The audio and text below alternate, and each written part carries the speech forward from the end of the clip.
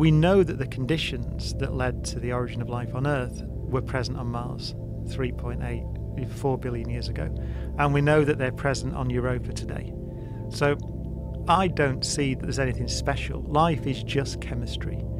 And the idea that geochemistry becomes biochemistry is not fanciful because it happened here. So I think that given the same conditions, it would be surprising to me if the same thing didn't happen in that life begins.